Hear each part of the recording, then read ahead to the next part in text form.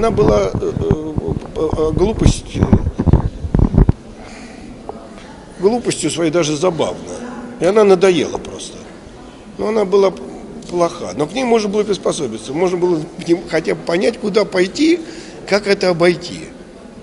Вот этой системой координат человек должен жить в некой, э, как сказать, вполне узаконенной системе. Человек вообще системное животное. Понять, что происходит сейчас, не может никто. А, э, если вы подумаете, то у нас все какое-то приобретает в этом смысле уродливые формы. Капитализм у нас довольно странный. Но какой капиталист же, э, они, человек богатый, это очень трудная профессия. Миллионер – это профессия. Этим надо еще уметь управлять. Управлять деньгами надо уметь, иначе ты их очень быстро потеряешь. Но что это значит? Все имеет обратную сторону медали. Надо все время, это балансирование на, на лезвии бритвы. Что это значит? Я должен заставить рабочих работать больше, а платить меньше. При этом заставить их работать качественно, но, но платить им меньше. Это думают все. Но если я буду платить им меньше, значит покупательная способность становится меньше. Они становятся меньше покупать. Если они будут меньше покупать, то что же я столько произвожу? Значит, то, что я произвожу, не надо. А мне надо производить больше, чтобы заработать больше. Получается замкнутый цикл.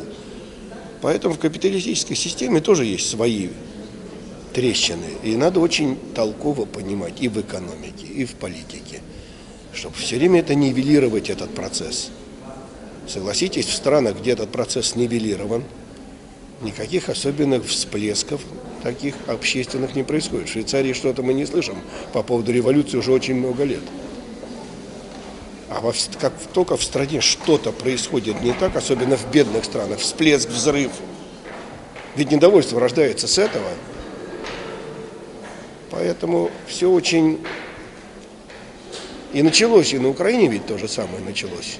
Но просто, ну, ну это просто нищенское э, существование. Тем более, что это девушка с косой. Когда я услышал то, что она сказала, у меня волосы на лоб полезли. Я ее не знать не знаю, я никогда в жизни с ней не встречался. Но это с нее началась вся история.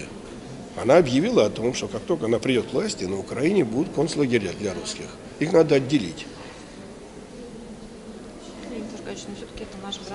Стой, подожди, подождите, еще раз.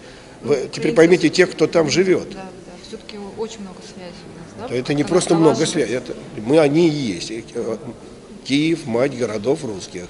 Оттуда все началось, русичи. Но ведь это кто-то делит, это же не происходит. Согласитесь, мы с вами вдвоем не можем сейчас устроить э, то, что произошло на Украине. Вот мы с вами вдвоем. Есть какая-то сила, которая должна нас разделить. С чего вдруг? Это мне надо очень долго вбивать в голову, что вы мой враг. Если мне сейчас сказать вот это вот, «А, а, она твой враг, как только ты говоришь, она тебе выстрелит в затылок. Ну, сказали, я забыл. Но если мне 20 лет вбивать это в голову, бесконечно показывать мне, откуда вы можете на меня целиться и, и красную точку на лоб вешать, я поверю.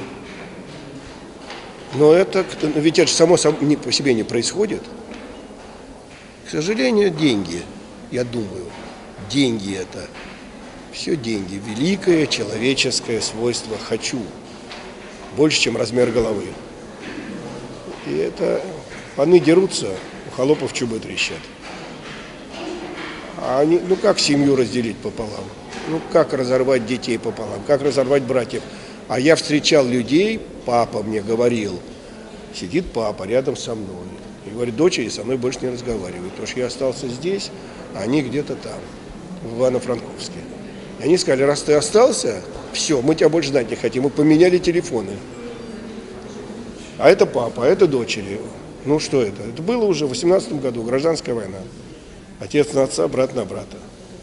Так, ну как? Спасибо, пожалуйста,